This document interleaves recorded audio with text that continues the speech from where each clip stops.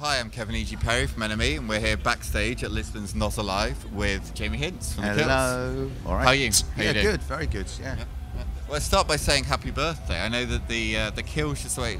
It's Yeah. what, 15 years since the first EP. Since our first show. Oh, actually, yeah. Now it's, it's, it's since the first EP, but our- our first show was 2002, February 14th. Yeah, and I guess our Black Rooster EP came out in around about this time, actually, two, 15 years ago. Yeah. So does this mean Kills are entering their sort of surly teenager stage of 15 years old? Is it Yeah. Although I- maturing or getting into trouble at parties? I don't know. I think it's more like dog years, isn't it? It's like it's more like 70. Is that how it feels? No, no, you've on no, not at all. Not at all. Uh, so yeah, you're here in Lisbon, obviously. I want to. You, oh, you're a band who seems to you know tour a lot. Do you, Yeah. you come to a city like Lisbon? Is it like you know? Do you have your guys you go and see? So a good, you know, your your music shop, your your clothes shopping, or, or do you just kind of hunker I mean, down uh, in the in the hotel? in a lot of places, there's yeah, we kind of we know them pretty well by now. So we, but this time I did not venture out of the hotel. Like last time we went to, we did quite a lot. This time it Well, was the, well, the high points. Remember, do some t- tour guiding. what last time.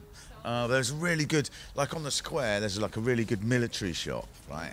And you we just bought tons of these like little. Uh, you get all these like gold badges and like pins and all that. So we spent a lot of time doing that, customizing our clothes. uh, we went to amazing like cabaret last time we were here. Just wandered into this bar and they they had all this like pretty dark, crazy cabaret going on.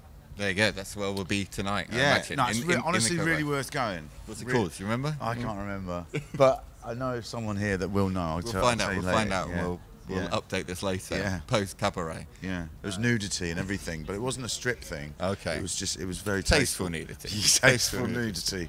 High end. Yes, high, end. High end nudity. nudity. That's what we like. We like a European festival. uh, so uh, the new, the the little, the most recent record, Ash and Ice, was was a bit, bit of a change of sound. I remember you we talked before about Yeah. your the sort of injury you sustained and the- Yeah. the, sort of playing a bit more synth. How has that kind of changed? Is it changed the way you do your live shows, having to incorporate that sort of? Um, well, it's changed in a way because because the way we recorded, we kind of needed um, other players, you know. So so we're on tour with a live drummer now and a, and a, and a Scott who plays keys and bass a little bit.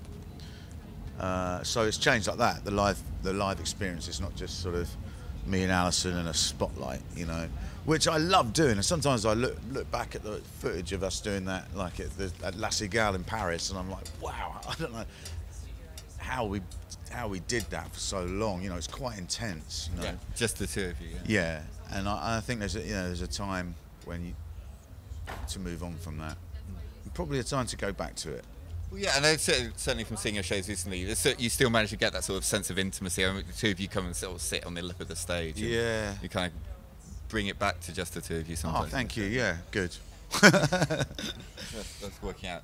Uh, and so yeah, I know it, it took sort of five years between the, the last one. How's it? How's what's how's, what's the progress on the next one? Are we going to wait five years for another, or you no, writing? And well, you know, that sort of stuff. I mean, thank God now it's not all really about albums. You know, it's just like you putting stuff out there's a lot more, lot easier than it used to be. You know, like labels just would not see any point whatsoever of just putting a standalone single out or an EP or something.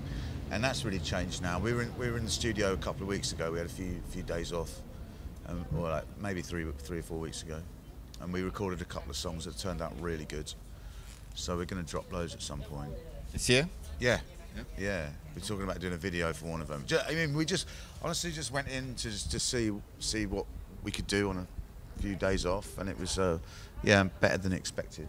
Excellent, excellent. Well, we will listen out for those, and we will see you in the cabaret later. Thank you very much. Bye bye.